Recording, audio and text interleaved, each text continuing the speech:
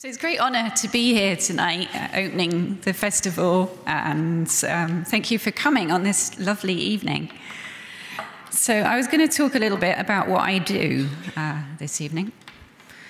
So my job is to go where wars are. I fly to places where normal people are leaving. Sometimes I look around at other people serving in shops or on the tube with their briefcases, going to offices.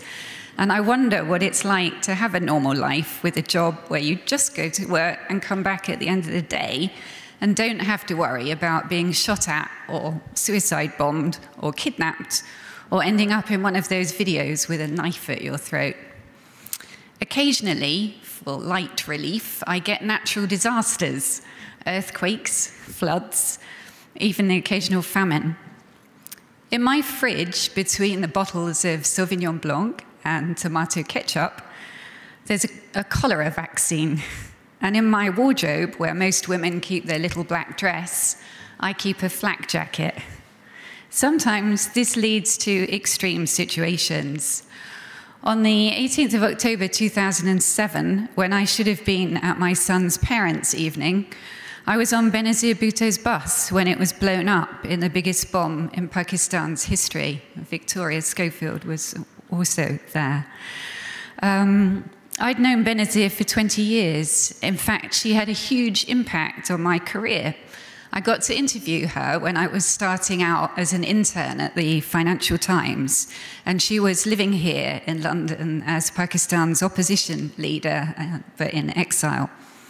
So the day of our interview was the day that she announced her engagement to Asif Ali Zardari, and her apartment was absolutely full of bouquets of flowers. Um, she then went back to Pakistan. I went to work in Birmingham for Central TV. And one day I came home from work, and there was the most beautiful gold inscribed wedding invitation on my um, doormat, and it was to her wedding. So that wedding was my first introduction to Pakistan.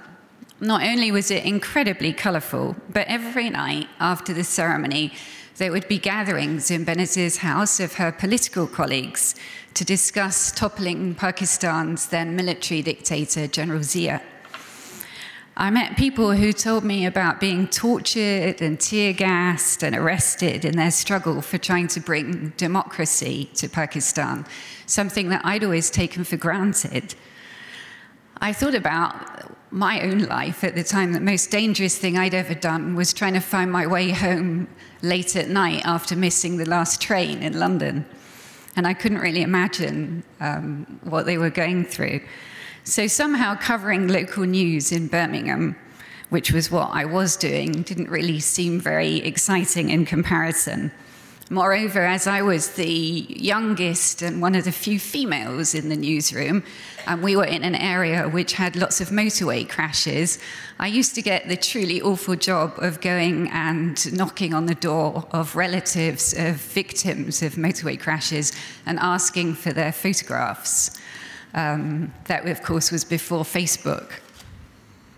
So I decided that I would move to Pakistan. And the last story I ever did for Central TV actually was a man who turned his car back to front, so it looked like it was going forwards when it was going backwards. I don't think I was a great loss to TV.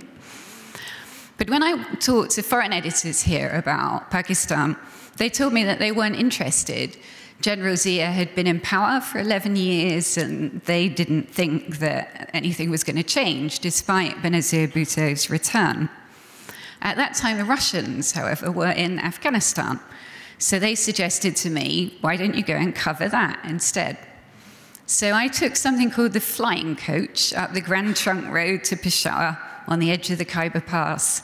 And I started work as a foreign correspondent even though actually I had no idea what foreign correspondents did. I started traveling across the border into Afghanistan with the Mujahideen fighting the Russians. I'm going to show you a really attractive picture. um, Pakistan's intelligence, ISI, had used the old British divide and rule to create seven Afghan resistance parties so that they could control them and play them off against each other. And because I'd got no idea what foreign correspondents did, most of them just went to see the most important of the resistance parties, but I went to see all seven, which meant that I even went to the smallest one.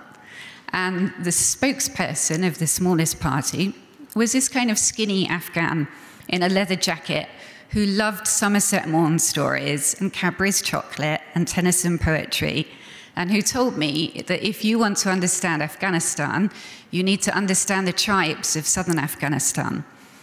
His name was Hamid Karzai, and we became close friends.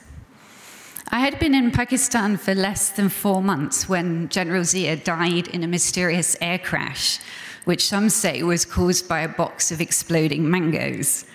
And Benazir ended up becoming prime minister, though, of course, it wasn't long till the army saw her off again. So when she returned to Pakistan in 2007, after nine years in exile, she asked me to go with her. I wasn't intending to be on her bus. Over that year, I'd had several narrow escapes. I'd been ambushed by the Taliban in Helmand and was in a hotel that had been suicide bombed. And when I interviewed Benazir in London, not far from here, actually, near Edgware Road, on the eve of her return, Benazir told me that she'd had lots of assassination threats. So my plan was to go on the media bus behind. But then we landed in Karachi, and I saw the crowds, and I saw her on top of the bus, and I knew that I had to be there. It was fine to start with. The atmosphere was electric. Benazir was overjoyed to be back. There were huge crowds, people everywhere, on roofs, up trees, up lampposts. There was music playing, um, even doves being released. But I could see that on an open top bus, we were very exposed, particularly as the route to the Jinnah Mausoleum, where she was due to speak, took us under 15 bridges and flyovers. I asked the head of security, How are you going to protect Benazir? And he said to me, it's in God's hands, which I didn't really find very reassuring. With so many people in the street, our progress was very slow and it got dark. Benazir pointed out to me that the street lights kept going off. Also, the jammers, which were supposed to block any remote signals that could set off suicide bombs, were clearly not functioning as all our mobile phones were working. However, there was so much excitement, and the journey, as I said, went on so long in fact, we were on that bus for nine hours that we even ordered in pizza on the bus. And we were joking about having to order in breakfast too. So I forgot about the danger. It was a complete shock when suddenly there was a low boom, like the sound of a concrete, of a steel door scraping across concrete. The bus lurched and the music stopped. I'd been near suicide bombings before, so I know that often there's a small blast to start with and then gets everybody kind of stopped, and then there's a much bigger blast. So I was shouting at people to stay down, but very quickly, within a minute, there was a second explosion, much louder, and then there was just orange flame everywhere. Then there was silence, and then sirens. I was terrified that the fuel tank would catch fire. Um, we didn't know that it was in a special lead casing. So we all jumped off the top of this double decker bus and ran like crazy through all the blood and plastic sandals and body parts. 150 people were killed that night. Afterwards, back at my hotel, when I was washing off the flecks of people's burnt flesh in the shower, I thought, that's it. I'd already had way more than my nine lives, and I wondered if it was time to quit. My first evening back in London after that, I went for a dinner to honour somebody called Beatrice Mtetwa, who is a very brave human rights lawyer from Zimbabwe. It's a country that I had reported a lot from, even though British journalists were banned at the time. And I'd been named an enemy of the state. I was actually accused of writing about corpses on golf courses. So I told Beatrice that I couldn't see the point in going to Zimbabwe undercover anymore and putting people at risk when it didn't seem to make any difference. She told me if people like you don't report, what's the point of people like me doing what we're doing? It reminded me of the Lorax from Dr. Seuss, who said, Unless someone like you cares a whole awful lot, nothing's going to get better. It's not. But more and more, I wonder is bearing witness enough? What's the point of exposing atrocities if nothing is done about them? Over the last year, I've seen and heard some of the most horrific things of my career. In northern Nigeria, where in April 2014, in the small northeastern town of Chibok, more than 200 girls were abducted by Boko Haram from their school dormitory where they were sleeping making headlines all over the world for a couple of weeks. I found that thousands more girls had been abducted unreported. Some had since been freed in military operations and were in camps. And they told me of how they'd been raped, forced to marry Boko Haram fighters. And then, when they escaped, their own families and communities wouldn't take them back, fearing that they'd been indoctrinated or seeing them as sullied. So this weekend, we had some rare good news of 82 of the girls being released after a deal was done. But we shouldn't forget that there's more than 100 Chibok girls still being held, and many others. Then there were the Yazidi girls, um, more than 5,000 women and girls abducted by ISIS and sold into sex slavery for as little as the price of a cigarette packet. About 3,500 of them have now been uh, freed or escaped.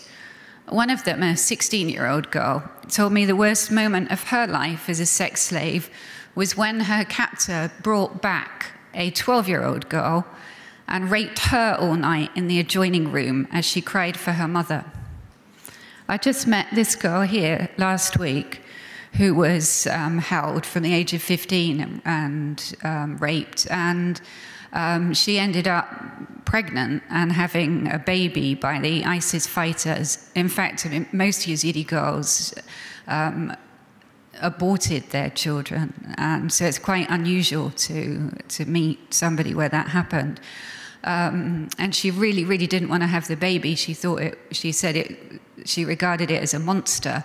But of course, when it was born, she bonded with it. And then she was put in a truly appalling position of having to decide whether to escape and leave the baby behind or stay. So she escaped, and the baby is in Mosul. And now she's watching events in Mosul where lots of civilians are trapped and wondering what's happened to him.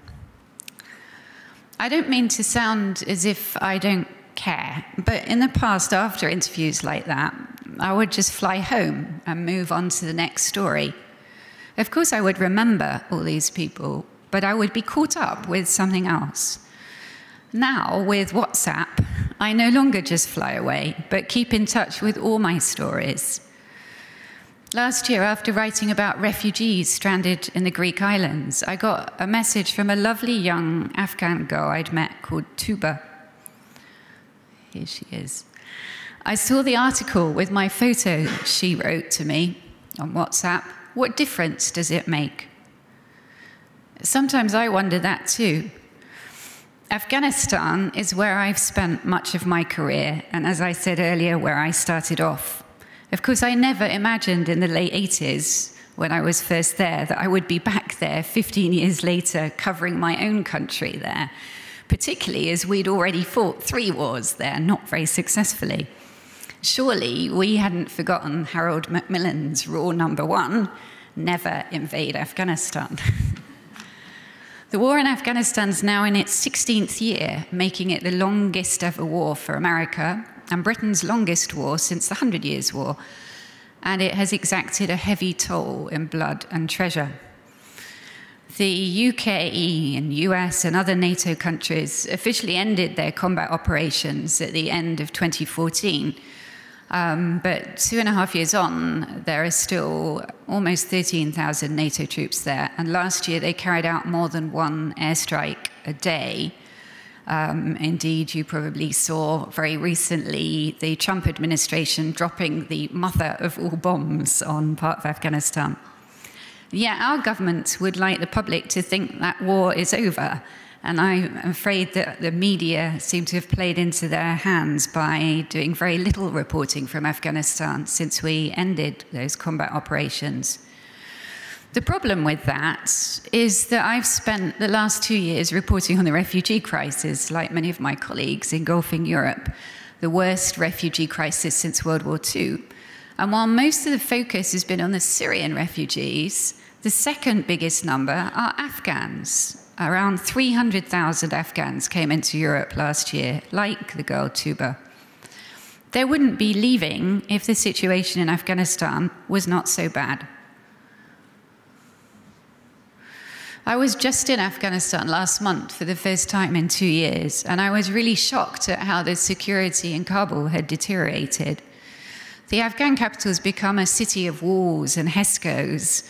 It's hard to believe that just a few years ago I used to walk around on my own, even at night there. Now, going, just going for coffee in a, one of the few remaining restaurants in Kabul or buying something in a supermarket involves passing through checkpoints and then a series of vault like doors manned by gunmen. And then you get in, usually to find there's no power, so there's no coffee anyway. I arrived just after the attack at the country's main military hospital in March, and the mood was really grim. Um, that attack was really the most barbaric attack that Afghanistan has seen. And I met a young female doctor called Nilufar who described how she was um, in the ear, nose, and throat department on the fifth floor of the hospital and hiding in the shower with five patients and praying as she heard the fighters coming up the stairs, floor by floor, shooting patients and doctors and slitting their throats. Finally, they forced open the door of the showers where she was hiding and began shooting at them. She told me, I felt my buttocks explode and blood all around. Then the showers came on, and soon we were lying in blood and cold water Three of the patients were dead. I was seeing the sky and thought I'd never get out. That hospital is one of the most guarded places in Afghanistan and on the edge of the green zone where the US Embassy and NATO headquarters are. It was clearly an inside job as the fighters knew exactly where to go and none of the outside gates were blown up. As the news editor of the main private TV channel in Afghanistan, Tolo TV, told me, if they can get in there, they can pop up anywhere. Um, we are also seeing uh, record casualties, um, record civilian casualties in Afghanistan. And the Taliban took 15% more territory over the last year. And we've seen record not only civilian casualties, but military casualties among the Afghan security forces who are struggling to hold back this resurgent Taliban. Um, last year, they lost more than 8,000 men to the Taliban, um, which is more than double what NATO forces lost in the whole war. So the morale of the Afghan security forces is low, and we keep seeing what they call strategic retreats, which really means abandoning checkpoints from areas of Taliban strength. And two weeks ago, we saw the deadliest attack of the whole war when Taliban in army uniform got into a military base in Balkh and gunned down around 250 soldiers who were having lunch or coming out of prayers. The um, American general, Mick Nicholson, who commands the NATO troops there, testified in Congress in February and gave a very bleak picture um, describing the situation as stalemate and asking for more troops. He said that the Afghan government only controls 57% of the country. He also said the country that we went into more than 15 years ago to prevent it becoming a safe haven for terrorists to launch attacks like 9 11 is now the base for 13 different terrorist groups. He says his main priority now is defeating ISIS, which is trying to set up a new caliphate in southern Afghanistan. And uh, the Moab, the mother of all bombs, was dropped on an ISIS ba base. But many people feel that was the wrong target because the real threat in Afghanistan is the Taliban and to a certain extent Al Qaeda. Um, you may have seen in the news the Pentagon is looking or has recommended sending 3,000 more American troops uh, back into Afghanistan in a ramping up of the war. And we're waiting for a tweet from President Trump so that we know what he thinks about it. So, how come, after all the money that's been spent in Afghanistan and all the lives lost, that we're still in this situation? I wrote my book Farewell Kabul because I was angry having seen friends and soldiers killed in this war. I wanted to know was it worth it? Was it worth 3,500 NATO troops killed, of which 456 were British? And the tens of thousands who lost limbs or were scarred in other ways? And around 100,000 Afghans killed. How come 140,000 NATO troops, with all the latest technology, missiles that cost the price of a Porsche, could not defeat a Taliban force estimated to be at most 20,000 people? It seems to me if we knew that, we'd know why we can't end wars anymore. Nobody comes out well from my book, in, but in my view, the problem was political more than military. As General MacArthur said, it's fatal to enter any war without the will to win it.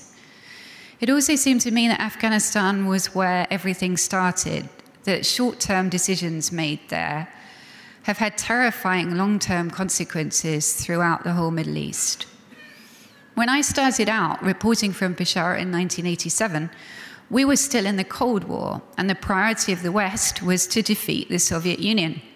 To do this, the CIA and MI6 encouraged the use of jihadi fighters, many of whom were former convicts from Arab states that were only too happy to get rid of their troublemakers. When I lived in Peshawar, I used to go to a place called the American Club, which all journalists used to go to because you could get Budweisers and Sloppy Joes and Oreo cookie ice cream. Um, and it was just along the road from bin Laden's guest house for those Arabs. Uh, never did we imagine then that they would become fanatical terrorists who would fly planes into the World Trade Center and the Pentagon. Or that one of them, the Jordanian gangster Abu Musab al Zarqawi, would move from Herat to northern Iraq after 9 11 alongside Ansar al Sharia and announce itself to the world with attacks such as blowing up the UN headquarters in Baghdad in September 2003 and the Shia shrine in Najaf, and eventually becoming ISIS. Going through all my notebooks to write this book, I went through every notebook since 1987. It was really chilling to see how those short term decisions then had had such devastating long term consequences.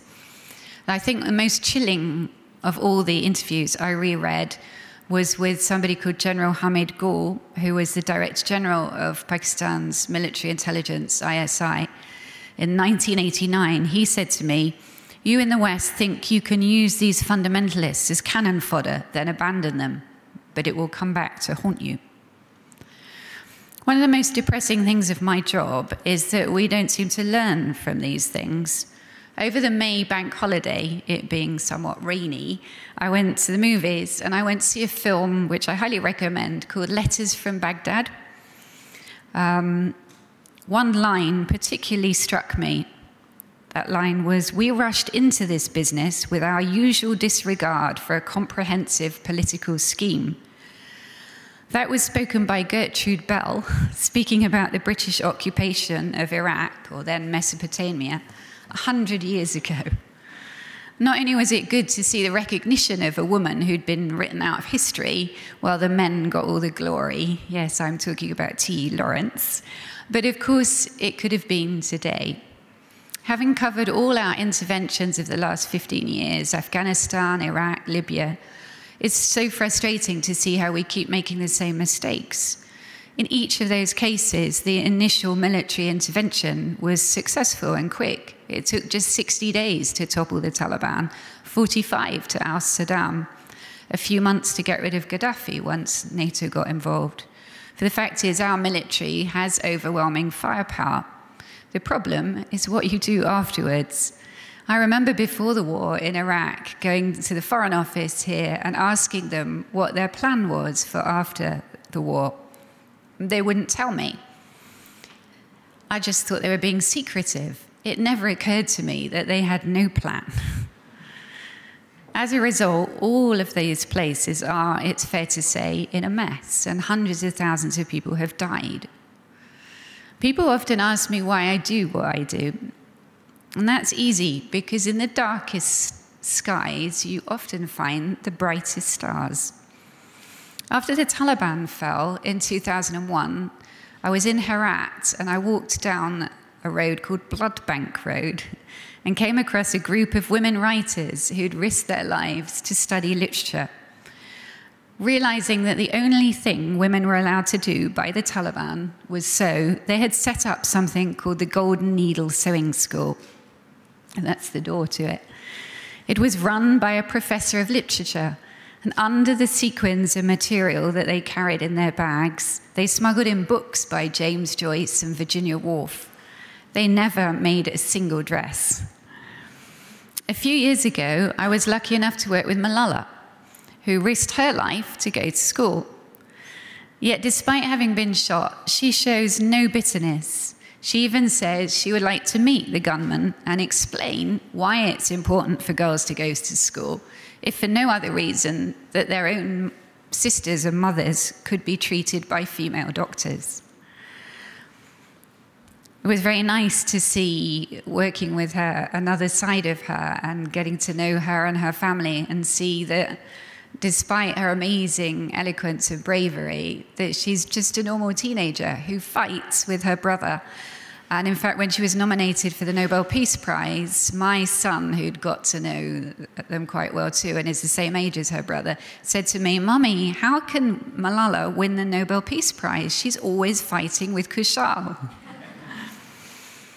Then there was Nujeen, an amazing Syrian refugee who crossed from Aleppo to Cologne in a wheelchair, always with a smile on her face, telling me how she dreams of being an astronaut and how she educated herself from TV because she couldn't go to school and learnt fluent English from watching American soap operas.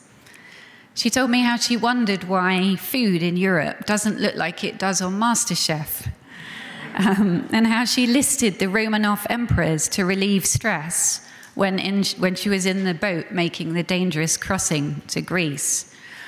I'd just like to read a little bit from our book to just give some sense of what it's like being a refugee and also Nujeen's amazing spirit.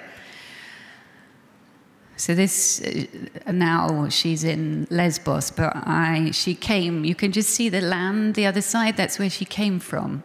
And so this is her talking from there. From the beach, we could see the island of Lesbos and Europe. The sea stretched either side as far as you could see, and it was not rough, it was quiet, flecked only by the smallest of white caps that looked as if they were dancing on the waves. The island did not look too far off, rising from the sea like a rocky loaf, but the grey dinghies were small and low in the water, weighed down with as many lives as the smugglers could pack in.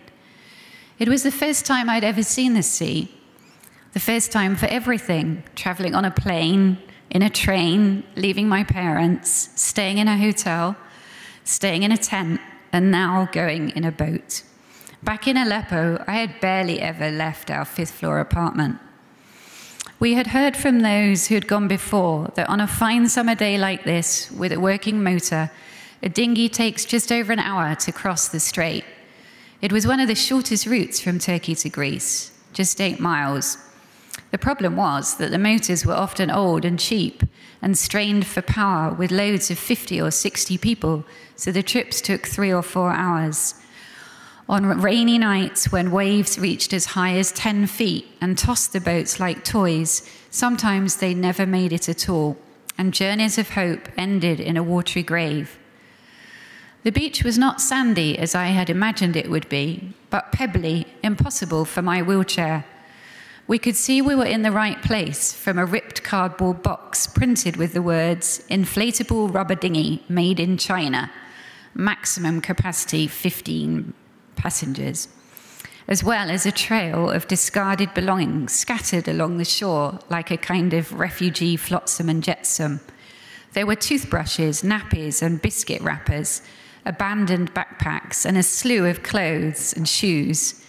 Jeans and t shirts tossed out because there was no room in the boat, and smugglers make you travel as light as possible. A pair of grey, high heeled mules with fluffy black pom poms, which seemed a crazy thing to have brought on this journey. A child's tiny pink uh, sandal decorated with a plastic rose a boy's light up trainer, and a large grey floppy bear with a missing eye that must have been hard for someone to leave behind. All this stuff had turned this beautiful place into a rubbish dump, which made me sad. We had been in the olive groves all night after being dropped off on the cliff road by the smuggler's minibus. From there, we had to walk down the hill to the shore, which was about a mile. That may not sound much, but it feels a very long way in a wheelchair over a rough track with only your sister to push and a fierce Turkish sun beating down and driving sweat into your eyes. There was a road zigzagging down the hill, which would have been much easier, but we couldn't walk down that as we might be spotted and arrested by the Turkish gendarmerie, who could put us in a detention centre or even send us back. I was with two of my four elder sisters, Nada, though she had her baby and three little girls to handle, and my closest sister, Nasrine, who always looks after me and is as beautiful as her name, which means a white rose that grows on the hills of Kurdistan.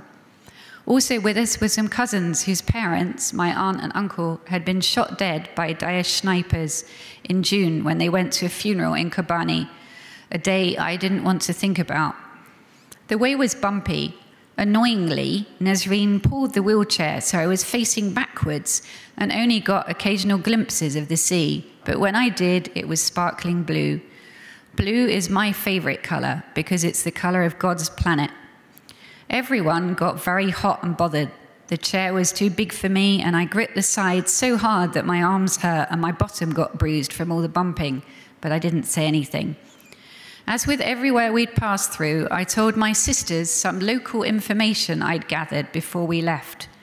I was excited that on top of the hill above us was the ancient town of Assos, which had a ruined temple to the goddess Athena, and even better was where Aristotle once lived. He'd started a school of philosophy overlooking the sea so he could watch the tides and challenge the theory of his former master, Plato, that tides were turbulence caused by rivers. As always, my sisters didn't seem very interested. I gave up trying to inform them and watched the seagulls having fun, gliding on thermals and making noisy loops high in the blue, blue sky. How I wished I could fly. Even astronauts don't have that freedom. Nasrine kept checking the Samsung smartphone our brother Mustafa had bought us for the journey to make sure we were following the Google map coordinates given to us by the smuggler. Yet when we finally got to the shore, it turned out we were not in the right place. Every smuggler has their own point. We had coloured strips of fabric tied round our wrists to identify us, and we were at the wrong one. Where we needed to be wasn't far along the beach, but when we got to the end, there was a sheer cliff blocking us off. The only way round was to swim, which we obviously couldn't do. So we'd ended up having to walk up and down another rugged hill those slopes were like hell. If you slipped and fell into the sea, you'd definitely be dead. It was so rocky, I couldn't be pushed or pulled, but had to be carried. My cousins teased me, You are the queen, Queen Nujeen. By the time we got to the right beach, the sun was setting. We spent the night in the olive groves. Once the sun had gone, the temperature dropped suddenly, and the ground was hard and rocky, even though Nasrine spread all the clothes we had around me.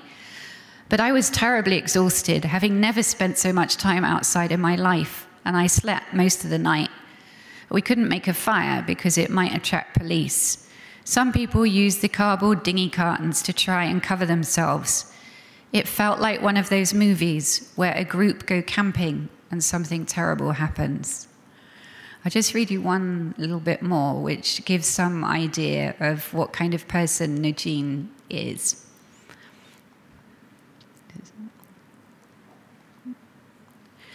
I don't collect stamps or coins or football cards. I collect facts. Most of all, I like facts about physics and space, particularly string theory, also about history and dynasties like the Romanovs, and controversial people like Howard Hughes and J. Edgar Hoover. My brother Mustafa says I only need to hear something once to remember it exactly. I can list you all the Romanovs, from the first one, Tsar Mikhail, to Nicholas II, who was murdered by the Bolsheviks, along with all his family. I can tell you exactly what date Queen Elizabeth II became Queen of England, both the day her father died and her coronation, and the dates of both her birthdays, actual and official. I'd like to meet her one day and ask her, what's it like having Queen Victoria as your great great grandmother? And isn't it odd, everyone singing a song about saving you? I can also tell you that the only animal not to make a sound is a giraffe because it has no vocal cords. This used to be one of my favorite facts, but then people started calling our dictator, Bashar al Assad, the giraffe because he has a long neck, and I didn't like them anymore. Now, here is a fact I don't think anyone should like. Did you know that one in every 113 people in the world today are refugees or displaced from their homes? Lots of them are escaping wars like the one that has ravaged our country, Syria, or those in Iraq, Afghanistan, and Libya. Others are running from terrorist groups in Pakistan and Somalia, or from persecution by mullah regimes in Iran and Egypt. Then there are ones fleeing dictatorship in Gambia, forced conscription in Eritrea, and hunger and poverty in countries in Africa I never saw on a map.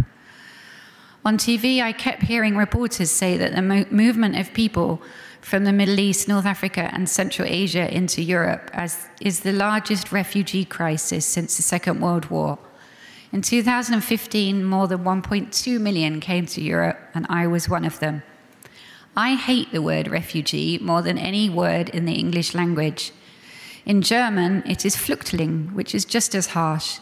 What it really means is a second class citizen with a number scrawled on your hand or printed on a wristband who everyone wishes would somehow go away. The year 2015 was when I became a fact, a statistic, a number. Much as I like facts, we are not numbers, we are human beings, and we all have stories. So these are the kind of stories that I want to bring home in my suitcase positive people that give me faith in humanity. Their resilience in the face of adversity shows to me that we're all stronger than we think. Seems to have got stuck there. Recently in Kabul, I met an amazing group of Afghan women cyclists who bike through the streets despite men throwing stones at them and shouting abuse. They told me that they see what they are doing as part of women's struggle, and when they're on the bikes, they feel as if they're flying. Best of all were the guitar girls of Kabul, street kids who scrape a living selling chewing gums or scarves. All of them had lost brothers and sisters to suicide bombs or were survivors of attacks themselves. Yet they had the biggest smiles on their faces when they played Fragile by Sting from England. Is it coincidence that all of these people I'm mentioning are female? It seems to me that women are the real heroes of war, for they're the ones who protect, feed, and educate their children when all hell is going on around them. I've seen how women together can be a great force, and that we all want the same for our children, wherever we are. And that one person one small person like Malala, she's very short, or one small act can make a difference. When you think of war, you might think of guns and bombs and danger and death, and I think of those things too, and I hate those things. But I also think of these people. When you're in a war, small things that often preoccupy us in everyday life, like a train running late or a person irritating you, don't really matter Instead, you rejoice in finding what one of those guitar girls in Kabul described to me as finding a yellow flower among the rubble. I think that in this time of fake news and alternative facts, where different is often seen as dangerous, These real people with real stories are what we really need to hear to give us hope in the future. In the end, we're all looking for that yellow flower. Thank you.